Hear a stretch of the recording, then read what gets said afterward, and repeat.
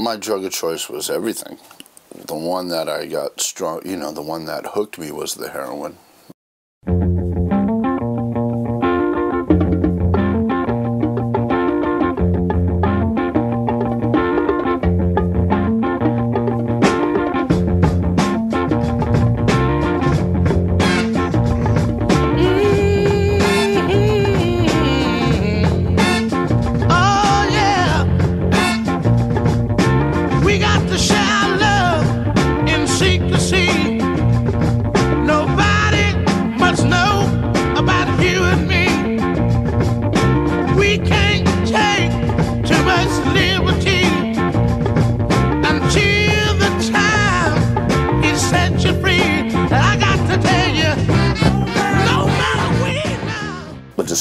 The American culture is what they called me, you know. I was trapped. It was that fucking blue tape is what trapped me completely.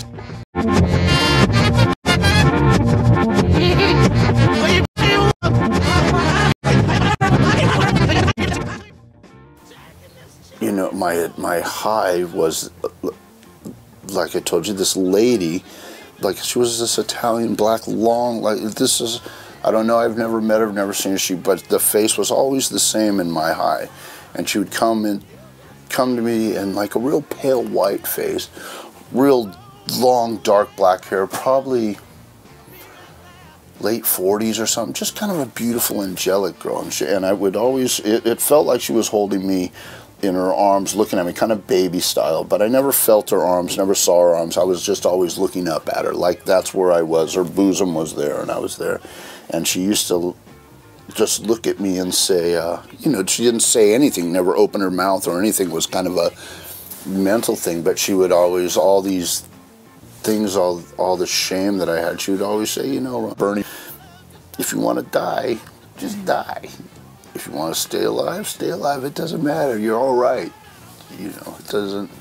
And there was a lot. That was really my addiction, and I would go pretty, pretty close to death to see this lady every night after work. Be right there. I'm gonna hold you. I'm gonna squeeze you. I never saved anything for the next day. It didn't matter if I had a hundred, two hundred dollars worth of heroin. I would make it go in the time I had before I had to go to bed, because that's that's just the life of a junkie, and never saved a wake up. So I would I would rush to work, like six in the morning. I had a dealer that I had for ten years in LA that would would meet me there in the morning. We were almost buddies. Out, out of all the people, it was me and him for at least 12 of those years that knew I was on heroin. Man, I'd be so sick, I would, I'd cook my dope while I was driving a stick shift. And after I got my rig, I'd pull my seatbelt over and I'd wrap it around my hands like that and do a dose while I was driving, while I was doing 50, 60 miles an hour, rushing to work.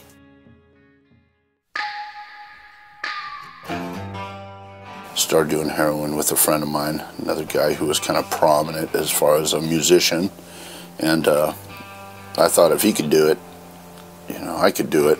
And he was doing well on it, so I, uh, I figured if he could do well on it, I could do well. It was more the, the glamorous thing, or, you know, I guess you would call it glamorous, or when it really turned out to be the most taboo thing I could ever done.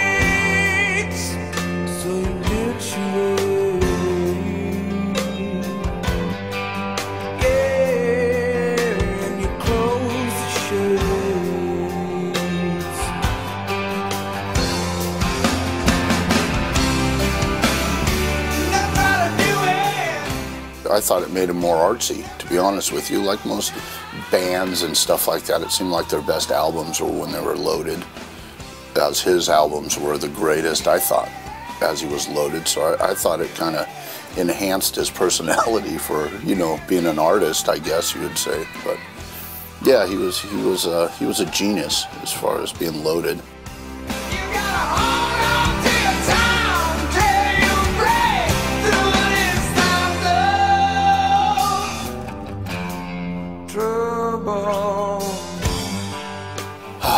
She's, I had quite a few jobs. I mean, I had one legit job working at the studios. You know, worked in uh, working in the industry for a while, doing everything. In the studios, you did everything, and then you know, non-union, you did everything. You, those shops did everything, and uh, I guess to supplement, or I don't even know if it's supplement or just something that excited me. I pretty much took on anything shady that came my way. you know, I uh, everything from stealing antiques to counterfeit money.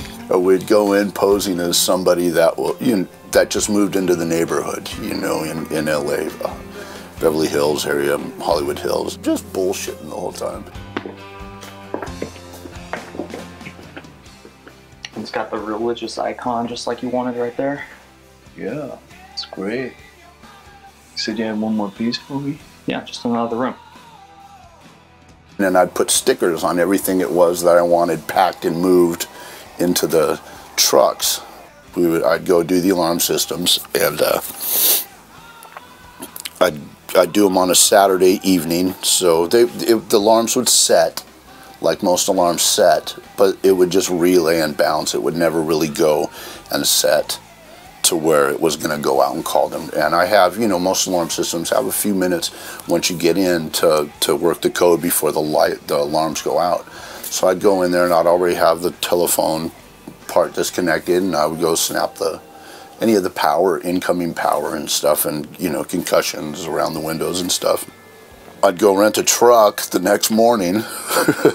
And, and usually at the truck rentals, there was Mexicans everywhere. They were, you know, to work, help me move, and and I'd pick up these, you know, three or four Mexicans, and I would put them in the truck. They would have no idea what was going on. I'd give them a great breakfast, lunch, what.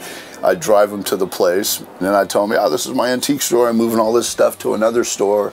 I need you guys to have this loaded and packed for me as soon as possible." And I would walk up the street and I'd go have a cup of coffee, and I just kind of look down the alley every now and then and call them, "How you guys doing? Everything ready? I'll be back in about a half hour." I'd walk down, I'd pay them, and I would shut the door and drive to my buyer. I grew up with a guy in Hawaii. We surfed together, and uh, he became, you know, his his family was a pretty big family, and I guess they would call it the underworld or the kind of Asian syndicate, you know. So it, it he was never really he growing up with him. He wasn't that guy. He was just the, you know, I didn't even know who his father was, and I didn't know who his family was until we got older, and it, you know, it made more sense to what who he was and what he was about to uh, inherit, I guess, you know. So, yeah, he was a good friend of mine, really good friend of mine. Ernie. So check this out. My dad was part of this board meeting at the studio. He saw a couple animation cels. What we want you to do is take just one of them and give it to us. I don't, I don't do that no more, man. I just get out of prison. I got kids now. I'm trying to be a good guy because I got kids, and it's not like anybody had to tell me. It's when you have kids, you just kind of, man, it changes your life. Completely changes your life. It's a lot of sorry. Even We're offering $300,000. Come on. Oh man, I'm straight. Straight now. I don't I don't play like that no more. Come on. Do it for me. Come on. You can do it. I know you can. When's the next time you're gonna get this kind of deal? Oh man, it's too risky. I don't wanna It's so easy. You got the skills, you got the talent. I know you can do it. In and out. Like popping the cherry not. of your palm, babe. It's not that easy, man. You gotta surveil the place, you gotta create a distraction for the cameras. Come think so. on. One last time. Come on, just for me. Come on. One last time. All right, I'll, I'll think about it. All right. And I stayed straight for quite a while, you know, trying to be a good dad and paying my support, trying to get it back to, you know, her trusting me and everything. And the money, I, I've never been good with money. I've never been good with budgeting money or, or saving or anything. Everything's like it goes out as fast as it comes. It doesn't matter if I made $100,000 a day. There was always some place it had to be. Hey, Bernie, what's up? How you doing? So you come to a decision? Yeah, I'll do it. Awesome. Your dad's gonna be so happy. I guess the old habits and the old greed kind of kicked in, but I fought with it for a while, about six months or so. The amount was pretty good. It was, you know, one of the better amounts for a job that was right there where I was running amok. About 300, you know, about, it was a good amount, $300,000. I checked it out and it was kind of, you know, it was kind of intriguing. It was up on the top floor and there was so many levels to get up to and, and I couldn't do it during the day because the rooms were packed with people and stuff. So I, I told them I'd do it if they'd pay me to sit there and watch the building for a while and see how the, you know, see who came in, see who came out and, and kind of figure out what it was like. And I told them it'd take me a couple months, but being the dope fiend I was, I would I'd nod out half the time in front of the building. and I'd smoke a bunch of joints, or I'd forget everything I was doing. I'd had everything written down, and towards the end, once it started to kind of fall into place, and I had half the people in the building where I knew where I knew them on a daily basis. I knew their routine, and I would write them down, and I knew them just visually. I'd smoke and just sit out parked in front of this building and watch these people come in and out. I'd do it till sometimes till about four in the morning, then I'd drive home, sleep, and then go back to work and and uh, you know just kind of stake it out. I dropped right in, dropped down, and within 20 feet was the room to where I was getting these things. And I could actually walk, there was a big door, a double door, and on each side of the door there was this piece of glass that looked into the room. So I could stand out there and just look at everything I needed to, that I was taking. But there was these kids, they sat down probably about five feet from the ceiling. It was a big ceiling, not your typical eight foot ceiling, probably a 12 foot ceiling. And they sat down right around eye level around the thing. And then there was two cameras, two of these video cameras, you know, security cameras from there to here, looking at the door as you came in. So that was really my only, the lock was no problem. I had my little Lockaid gun so I can get into the, the locks. And uh, so I couldn't, it was a whole different thing. Like, how the fuck was I? I was actually going to dress up as with a wig and huge boots and fucking over over pants and mustache and beard and just walk in and spray the things, you know. But I was thinking, fuck, they're gonna, they, you know, I'm gonna have to get up pretty close, and I have, you know, I have scars on my face, so fuck, if they see a scar, they're gonna go, that's fucking Bernie Myers.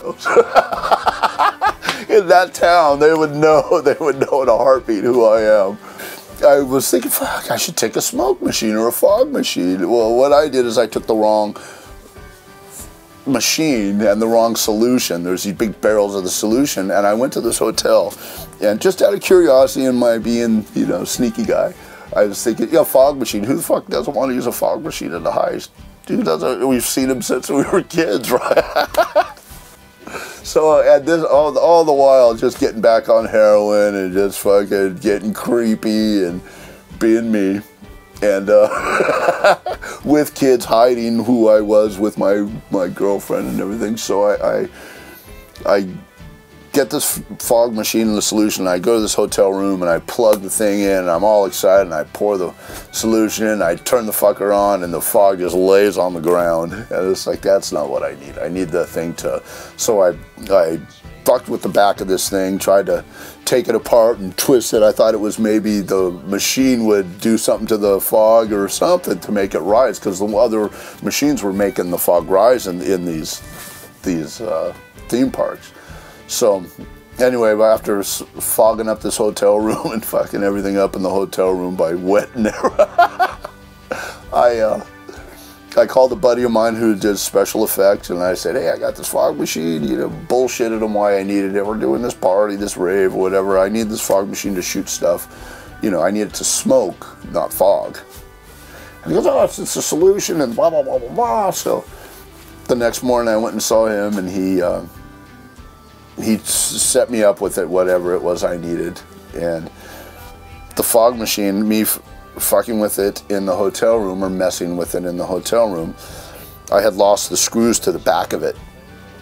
So I went out to my car so I didn't lose any of the pieces, and I got this gaffer tape I had from the job I was working in the studios, this blue gaffer tape, and I wrapped it around the back of the machine so that the, you know, to seal it.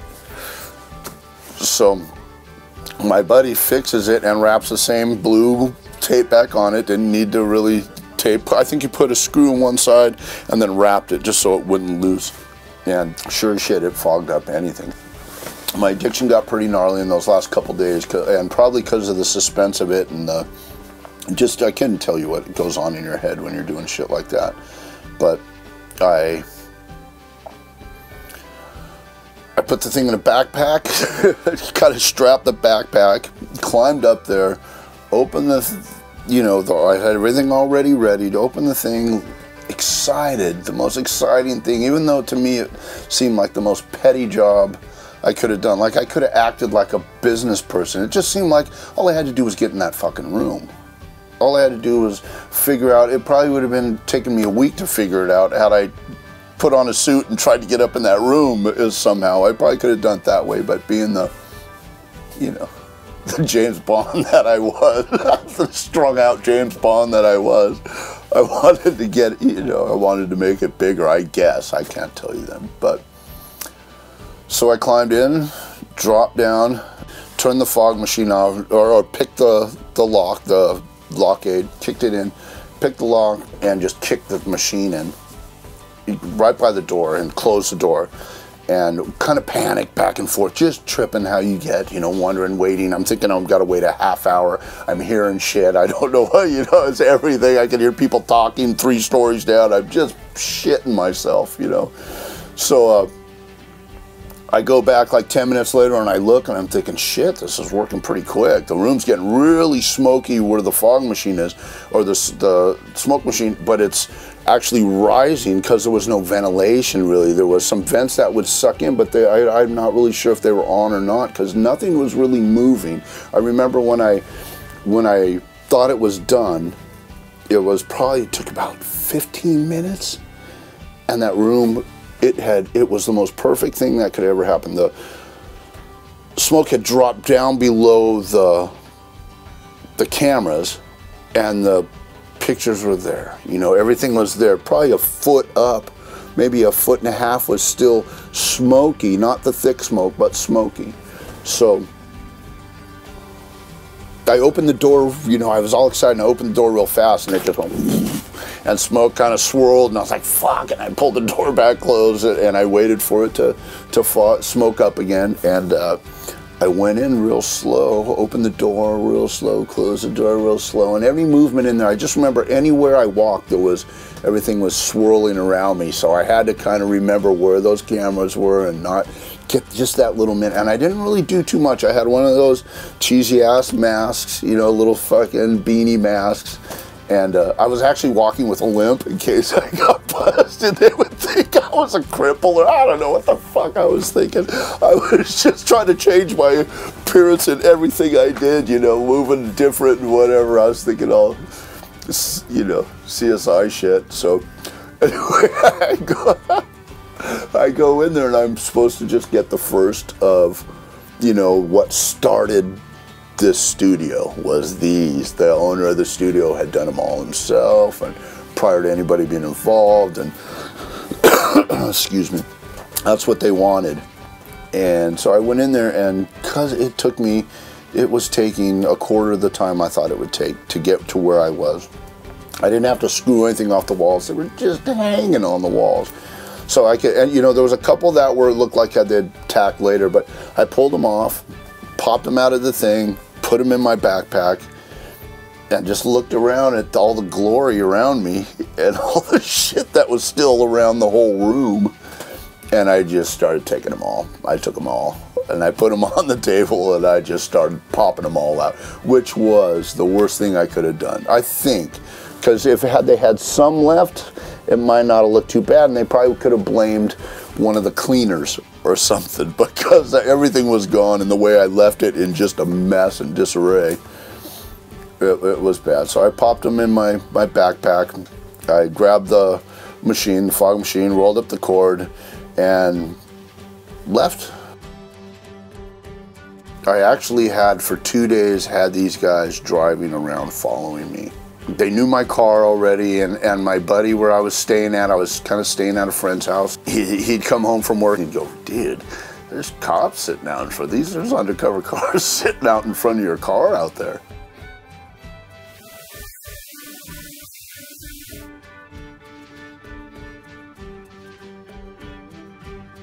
whatever. So I, I got my fog machine and I figured, well, this is the last thing I gotta get rid of. So I, I went to the park, parked in the spot, and I was like, the LA River, I'll just chuck it in the LA River. So I get the, the fog machine and uh, I just want to get fucking rid of it. And so I, I'm walking across the park with my my fog machine and uh, I get across the park. I, it was kind of calm and everything. They got out and I'm thinking, oh fuck, I gotta run to this river and I run into the river and they're running in front of me to block me from the river. They see that thing in my hand. And they kind of draw on me, you know, hey, stop, Bernie Myers. And I'm just, fucking, I'm thinking I just got to dump this thing in the river, you know. And there was no way. And, uh, you know, I think about it today, and had I barged through them, they're not going to shoot me. I didn't have a gun. They know who I am. I'm not like a, a you know, murderer or anything. And all the cops know me in that town. So they, they're going Bernie Myers, fucking sit down, you know. And I'm thinking, I just stood there, just shocked, and I didn't, I should have ran off a little to the left or something and just made that thing in the river. And because it's what ended up sinking me, you know, it's what ended up sinking. And, uh, so they get me down. They're all laughing and, and going, "You stupid fucker! You know what are you what are you doing? You know?" And I'm thinking, "What, what are you talking about? I got a fog machine." Well, the one guy who had been chasing me says, "You know, Bernie, see this blue tape on this fog machine?" He says that is the last thing those cameras saw before the smoke came up. And they said, "You're done. You're done." And I, oh, I backpedaled and bobbled, you know, lying and whatever I can do. Stupidest thing ever. You know, had I just had the screws, they would have had to prove something, but it was the tape, the blue tape I had put around the fog machine that pretty much convicted me. You know, maybe a year of the three years I was in prison, I wasn't on heroin, but you know, I, I hadn't stopped. So when I got out, I was just so so done and so embarrassed and everything. So maybe for a hideaway or whatever for a while, I, I checked myself into a one-year rehab and a live-in rehab, which is a great was the greatest thing I ever did. So uh, you know, I got clean and you know learned everything different. In that one year of being locked down, I learned what a dirtbag I you know what a dirtbag I was, what a piece of shit I was to my family and how selfish and stuff like that. And my girl took off with my kids, hadn't seen my kids. You know, it's been a long shit. I, I actually just was reunited with my kids, and this is 11 years, 12 years later. That was it. That whole thing kind of changed my life completely. I, I you know, just got back to what was, well, you know, the minute I stuck that needle in my arm 15 years ago, I, the real me was dead already. I was, I was, the minute I stuck that needle in my arm, Bernie Myers, you know, or Jake or whoever I am in your picture was dead. I was, there was no trace of him anymore. So it was kind of nice to get back to normal. I, I didn't even think that it was possible. I, I always figured I would die a junkie or I'd die shot or I'd die or I'd end up in prison forever because that's kind of the way I was going. I did- my mom used to go, "How does that happen? Why do people why do people come and offer you like good jobs and so on? They offer you these crazy jobs. What is it about me that makes people walk up and say, "Hey, this guy might be good for that job"? I I'm not really sure. It seemed like everybody was ODing back then. I think the majority of my friends were are OD'd and dead. You know, I have a couple really good friends that, that are still alive, and, and you know, it's amazing that the ones that are alive are alive, and the ones that are dead are dead, because we were the ones that you'd think would be the the ones who would be dead. Yeah. I can't say that I don't think about those things all the time. I can't say I don't think about those crime, the big heists that I I had planned that I thought were bigger than this one, you know, than this studio one. But I don't know. It's pretty tough to pretty. I work now for a living, and I'm broke. I'm broke all the time. I'm, my quality of life is great. I'm back to what I I love doing, which is being on the ocean. And, you know, I'm doing charters and fishing, so I'm at peace, and I'm not looking over my shoulder and whatever. But I struggle to pay my bills, and you know, again, 12 years later, I found my kids, and you know, I'd like to be a great dad to them and stuff, but uh, you know, I work. it's tough to just jump back in and, and, and have a ton of money to, you know, I don't really have any special skills.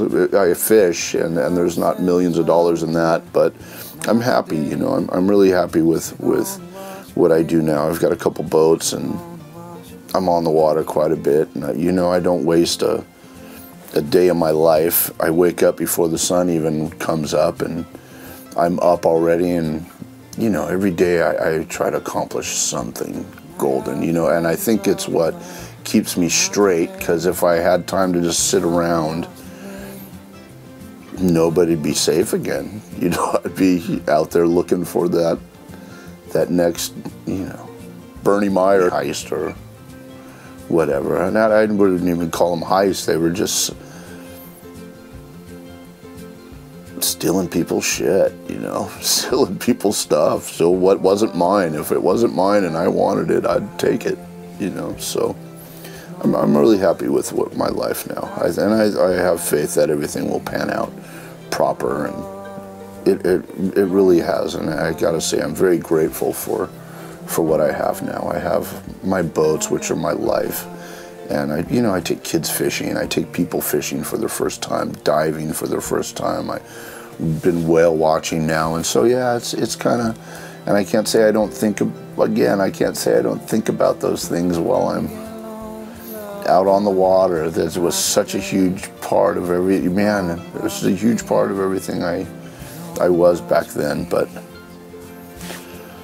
you know, it's easier to do things the way I do things now. It's a lot easier to just be a good guy.